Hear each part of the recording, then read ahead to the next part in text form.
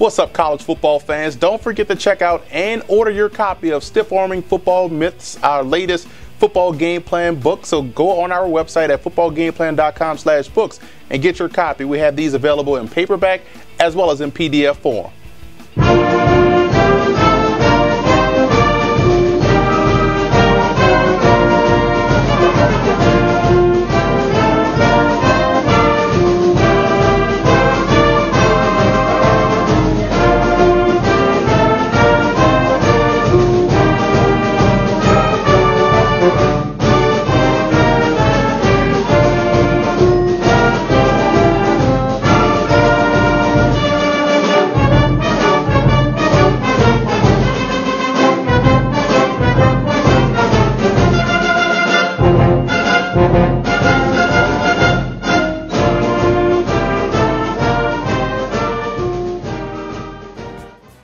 Welcome to FootballGamePlan.com, where football makes sense. I'm Emory Hunt, the czar of the playbook, bringing you another edition of Get Coached Up, where today I'm on the campus here at Fordham University in the Bronx, getting coached up by head football coach Joe Moorhead. So let's go into the field house to see what he can coach me up on today.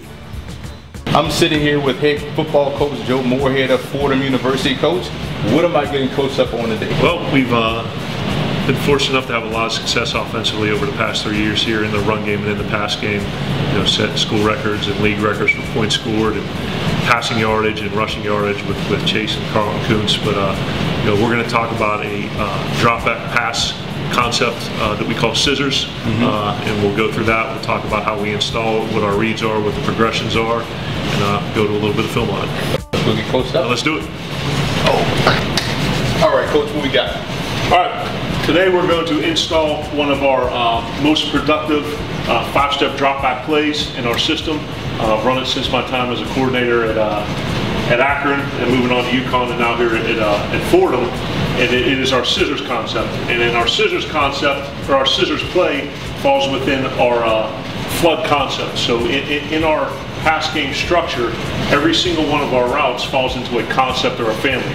So that way our kids know what the defining characteristic uh, of each concept is, and instead of rote memorization, uh, they are conceptually understanding where the play fits within the concept. And once they understand what the concept is, what the play is, then there's rules that go within each uh, each pass route. Okay. So in our scissors concept, it's a uh, our scissors plays in, in a the flood concept, which is a a five-step under center. For us, it's, it's three-step because we're always in the gun. Mm-hmm. Uh, so it's a, uh, a five-step drop-back pass play and the concept of scissors. So we can run our scissors, and as you know from seeing us play, we, run, we don't run a ton of formations. We run two by two, we run three by one, we run a little bit of empty. So within our scissors concept, and talking about the uh, the conceptual teaching of it instead of memorization, our kids don't understand or memorize plays by position. So the Z has this, the X has this, the Y has this.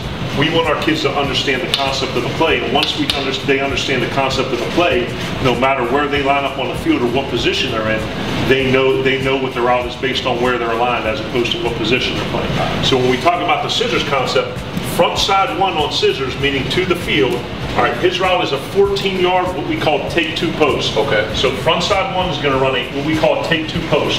So against a, a one high coverage look, he's going to run a go through the outside shoulder of the corner versus one high. Okay?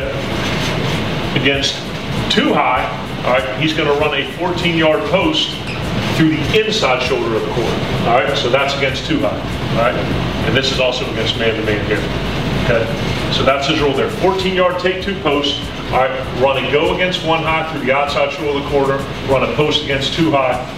Uh, a, uh, whether it's quarters or not going. It's cover two, it's good. This isn't a route that converts. Okay. So one high is a go, two high is a post. All right. Now, he, now he's crossing face. Right? He's crossing okay. face against two high uh, with access. Uh, like I said, running the go against one high. Okay. Front side number two to the field. Okay. He's going to run a 12-yard corner route. So he's going to stick in for three steps. He's going to push up to 12 yards, and at 12 yards, he's going to plant his inside foot and make a 45 degree cut.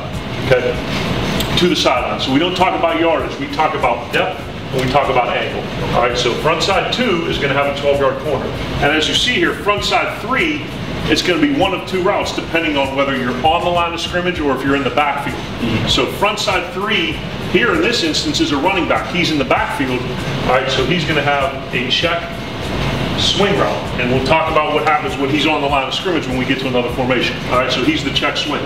So as you can see here, the defining characteristic of the flood concept is we're trying to insert three levels on the sideline. A deep level, an intermediate level, and a short level. Okay, and that is where we're going to go right, if we have access to the field. And by access, I mean off corner, not a cloud or not press man, okay? So if we have access to the field, we're reading this side, and the quarterback's gonna take a three-step drop. Okay, his first read, number one, is going to be the poster to go. All right, if that guy opens up off of one hitch and he's either run by the corner or the intersection of this thing, we talk about reading intersection of the flat defender. If the intersection is screwed up and then that guy gets cut loose, we're going to take three steps, one hitch, and we're going to throw the deep ball. Okay, if that guy is not open off of his first hitch, on his second hitch, we're going to find the flat defender. All right, so in this instance here, I have corners drawn up. All right, so it should play out like that with the DB. So we're saying now, if we take two posts, both of those guys are out there and he's uncovered. Now we're finding the flat defender. Okay, so he's going to go two hitches to the corner unless the flat defender gets underneath it. Then on his third hitch, he's going to get it down to the back. All right, so this is one off of one hitch. All right, to the corner off of the flat defender on two hitches. All right, to the flat on three hitches. All right, then it's run the throwaway. Okay, so that is against access. If we get no access, meaning a cloud to the field, okay, that is going to get the quarterback to go backside of his read progression. Okay, and as you can see here, backside one, and once I talk, I'll erase this and we'll draw up another formation. You'll see what I'm talking about with the, with the conceptual understanding of the route.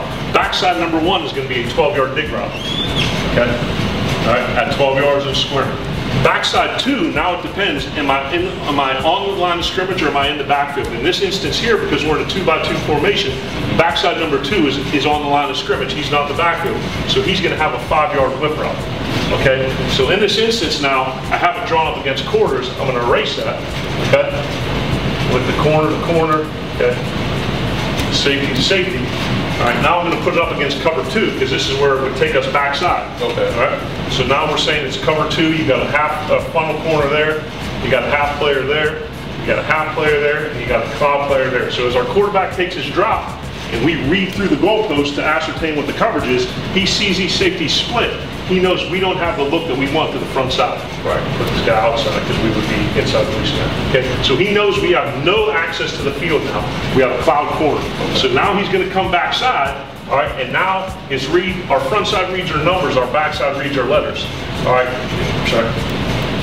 All right, it's A to B, all right, off of the backside inside backer. So he's going to take three steps in one hitch and look for the whip route. All right, if the whip route is open because this guy drops out of there, we're going to throw the whip route. Okay, if the wheel drops down and he ends up playing the whip, now we're going to throw the dig, all right, in this window here, all right, between the mic and the wheel. All right, so that's with no access to field. All right, our third prerogative, or our third factor, is if we get man-to-man. -man. So we have uh, not a zone coverage, we see that it's some form of man-to-man, not being blitz zero, because okay. we were blitz zero, would get out of this right. play and get into something else. And I could get into the specifics of the protection, but that would be a whole nother, that'd be a whole other day for us. So, so for simplicity's sake, when we get man-to-man, man rules override zone rules. Okay. So when it's man, we're looking to our runaway routes. And our runaway routes here are the corner, he's running away, all right, the whip route, he's running away, and then dig route, he's running away. Right? So against zone coverage, access to the field, it's three and one. Post, to corner, to flat. All right. If we get no access, we get a cloud to the field. It's three and one to the whip. All right. Three and two to the uh, to the dig. If we get man to man, the turn that we use is off the matchup. We're looking for the furthest off coverage, and if we get no off coverage, where do we have the best matchup where our guy will be able to run away? Okay. And I'm not going to draw the defense up because we did that on the last one. Okay? So now we're in a three by one formation. Nothing changes from a concept standpoint. Front side one, front side two, front side three. Backside one denoted by an underline, backside two denoted by an underline. Okay? So now it doesn't change. We call the formation. I shouldn't say call, they see it on the sideline with the signals. Mm-hmm. Okay, they get the play and they're not worried about I'm the X, I'm the Z, I'm the Y. Okay. In this instance here, front side one, 14 yard take two post or a go. Front side two, 12 yard corner route, front side three. All right, front side three has to be aware. Am I on the line of scrimmage or on the backfield? All right, front side three now is on the line of scrimmage. So he's a five yard flat route. Okay, backside one, Okay? 12 yard dig route, that doesn't change. Backside two, on the line of scrimmage or in the backfield. When he was on the line of scrimmage, it was a whip where we were trying to affect the will. Now he's backside two, he's in the backfield. Now he has what we call a read route. Uh, right, but he's affecting the same person. The quarterback's read doesn't change. Okay, so now we have field and boundary receivers. So those guys don't flip. Okay, so now you erase it you say, all right, what's the conceptual teaching of it? Okay, now when we flip formations and we go to a three by one with a single tight end backside, now we have guys in different positions. Now this is the X who only aligns in that formation to the field because normally he's the boundary receiver. Right. Now the Z is here when normally he's that position, and now the H is frontside three when normally he's that position. Okay, now the Y is backside one when he's normally never backside one, and the back and the back is backside two. All right, so what are your rules? Frontside one, frontside two, frontside three, backside one, backside two. All right, all right. And now you, it's not memorizing the play. What does front side one have? Well, it doesn't matter if I'm the X, the Z, the Q, the R, or whatever. Right. Take two posts. All right. front side two, 12 yard corner. front side three, in the line of scrimmage or on the backfield. On the line of scrimmage. All right. Four to five yard flat. Backside one. Doesn't matter. 12 yard dig. Backside two, on the line or in the backfield. In the backfield. 12 yard read. Access to the field, one to two to three, based off the flat defender. No access to the field, have a cloud. All right, A to B, off the backside inside backer. We get man to man. Now we have three three runway routes: one, two, and three. Okay, so that's the primary way. So whether we're two by two, three by one, or three by two, it doesn't matter. It's conceptual teaching. Now here, Yeah. the H on, on the on the out route, the flat Yeah. route. Do you have him? Is this like a zone type route, or is he speed out? He's or- not. he- There's two different ways to do it. I'm sorry. Okay. No, no, no, sorry. If, if the uh, immediacy of the flat route, it, it depends on where he is within the uh, structure of the progression. Okay. So in this instance, he's third in the progression, one to two to three. So the quarterback's going to get down to him So he can off take of the third time. hitch. So he's going to work up a little bit and bust to the flat late, knowing he's getting up late. He's not going to necessarily ooze off the ball, but he's going to work vertical a little bit and then get flat. And some of our other concepts, as if we have like a curl flat concept, mm-hmm. and it's a 12 yard hook and a flat. Now he's number one in the progression. So now he doesn't have the luxury to build up field. He's got to go and stretch the flat defender. All right, and once he does that, so we they know it's a flat route, but because we, like I said, we teach our kids conceptually, they know based on where they are within the construct construct of the stretch or the progression, you know, what, what they're able to do. So that's a good question on uh, on front side threes route, route to the flat. He is third in the progression, so he has time to work up field. Okay. Okay. We do have a couple variations that we run off of this, where we have uh, what we call a prefix or a suffix. And essentially meaning we tag the route. So when we just call base scissors without a tag, we're running the concept, front side one, front side two, front side three, back side one, back side two. All right, when we, when we have it with a tag, uh, it's a certain way for us to switch the stretch up or switch the uh, assignments on the routes. So if we would call, for instance, uh, something that we run, let's, let's do this one, H scissors, all right? Okay, so now we have a, a suffix, a, a suffix, or a prefix tag, all right? So that's telling me when we have a prefix tag on scissors, we're looking to attack a certain coverage. Okay. Uh, a clamp coverage that you see a lot of people running now against three by one detached where they're matching this guy up to the field and they're playing quarters concept over top of the inside too, or the teams that are really, uh, playing a three row strong coverage where they're playing a thirds concept, but the, the majority of the underneath defenders are to the trips. So when we say H scissors, uh, H is telling us who has the whip route. So I'll put, I'll put this up here out of the, what we call, uh, three row strong. All right, so it's there, it's there, safety rules down there, you got two players there, two players there, and I'll just put the coverage up. Okay, so essentially what's happening here is we're telling him front side one doesn't change. Go or post, take two posts.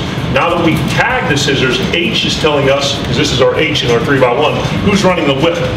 So he's gonna run a six yard, five yard whip route. Okay, bad on there, so I'm fix it, don't like that. All right, he's gonna run a whip route off the first defender head up the inside of him. Okay, since front side two now is running the whip, now front side three has to run the what? what's the what's the only part of the concept that we're missing here on the foot? Corner, right. The corner. So he's going to run the 12-yard corner. So the construct or the concept of the play hasn't changed. It's still three levels on the sideline, and the read hasn't changed. It's front side one, or it's one off of uh, three and one. It's two off of three and two. It's three off of three and three. But it's a very coverage specific. Uh, uh, construct, so, so it, it's a way to switch up how you're dispersing your routes. Right. Uh, so it's still it's still three levels, okay? But the rules don't change. If we have access, we're going to work for the front side. If we get a cloud and we don't like the access, our backside one rules don't change. It's 12 yard dig and 6 yard read. So this is a way for us to have a variation of it that's very coverage specific in the sense that, hey, we still want to run the, the scissors concept. This is the coverage that they're showing us with access to the field. What's a different way that we can get to our three by one flood stretch and, uh, you know, mix up who's running the flat and who's running the corner. Because if you didn't mix this up, No. they'd be in perfect position They, they would, they would have more of an opportunity to match this Okay. uh, if you ran traditional scissors than not. And also, it's some, a, a thing that breaks tendency. You know, because we run so much of this over the years, you start seeing the stem by two and three to the flat. Okay. You know, you talk about them, uh, you know, passing it off or, or doing some things to take it away. You know, it's just another tool in our arsenal to, to get to the things we want. So that's one of our variations. Is if we have a prefix, whoever is tagged runs a whip, and the inside receiver who's not tagged all right, he now has to subsequently run the corner. Okay. So that's that's a good way for us. And like I said, we've had some very good success against what we call clamp coverage or three insert strong. Uh, switching up is essentially in three the three insert strong coverage. A lot of teams are inning and out in this, meaning he'll take the first low inside Yeah, cut off, right. and he'll take the first inside cut, and now you got leverage on this route here, and you got a pretty good route there. Okay, so that's with a prefix. All right. If we go with a suffix, all right, meaning scissors, and then we add a tag to the end of it, uh, so let's just say in this instance X. Okay, this is what we can run out of two by two, all right, and still get to our stretch, all right, but get it in a different means. We're still it's we're still in the flood concept. We're still going to run our scissors concept. It's just how are we getting the people to the flood, and how are we getting the people to the dig read concept backside. Okay. So when we get into our two by two, all right, and the other thing with, with uh, you know, a lot of the gun teams is back placement. Back to the field equals this, back to the boundary equals this. Uh, so we want to make sure that we're having a, a good self-scout and, and balance and understanding of where we put the back and what that means to what type of play we're calling. All right, so when we tag scissors with an X, just like when we had a prefix and that told us who's running the whip. Right. When we have a suffix tag at the end of the play, that's telling us who's running the crosser. Okay. So now we go front side one, front side two. There is no front side three. So that means front side threes got to come from the back side of the formation. So front side one, take two posts. Front side two, 12 yard corner. All right, there is no backside three, so this should alert our guys that something's up. So they've heard the X tag. Okay, so that tells us this guy is on a six yard crosser. All right, he will stair step versus man, but now he is becoming the third part of the flood stretch to the field. So the read doesn't change for the quarterback. It's one, it's two, it's three. Okay, so now they, they understand this. He's been tagged, so he's the crosser. He's out of the backside progression. Okay, so now that makes him, since he's gone, backside number one. And what does backside number one have? On scissors. has dig. 12 yard dig. All right, so he's going to outstem, he's going to push up, and he's going to have a 12 yard dig. Okay, so he's out of the equation. That makes him one. That makes him what? Two. Two. The, you know, read, out. the read route, yep, backside two, in the backfield, five yard read route, okay? And you get a nice little triangle stretch here backside that we run, so, and the rules remain the same. If you have access to the field, it's one to two to three. Right, if you get cloud to the field, which is normally cover two or three real strong, uh, you're going A to B, uh, read the, read the dig, right, and if you get man to man, now we really like this as a runaway, right, a runaway yeah. route. And you've seen Ajala catch, uh, let's say 100, that's hy- hyperbole, but he caught a good amount of, of routes running away. So now you have a great runaway route, a great runaway route, and a great runaway route there. So without getting into more specifics with the protection and, and things like that, that is, uh, you know, a play in our flood family of routes. Uh, Five step, the play is scissors. Uh, These are the defining characteristics or rules of the play, uh, and those are our variations. Well, I mean, this is why you guys put up a lot of points. you gave a lot of teams Yeah. problems, coach, and I, I really appreciate you taking time to do this. And I definitely got coached up. And I'm always noticing the back, and these routes versus linebackers Yeah. are deadly, and, and you guys have a good one in the backfield and Chase. Now, fitting that he's going to be running away with people having to chase him. So Absolutely. We talked about offensive philosophy, and, and the number three tenet is get your speed and space. Mm-hmm. And anytime we can create an advantageous matchup with a, with a player like Chase or one of our speed guys on the edge against someone that they may be able to run away from, we feel pretty good about that. coach, appreciate that. Appreciate everything. Thank you very much. Appreciate it.